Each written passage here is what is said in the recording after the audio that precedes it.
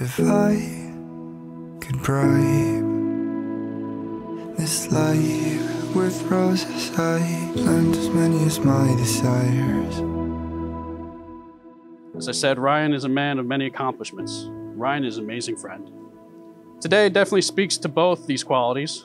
Today counts as one of Ryan's biggest accomplishments, committing to a woman like Courtney, as well as committing to devoting all the friendship and love that has within him to another person, his wife and best friend. Rise the walls, then the rain would make it. Whoever thought that sharing a conversation on Facebook years ago would set us down a path leading over a decade to where we are today? Love truly works in mysterious ways.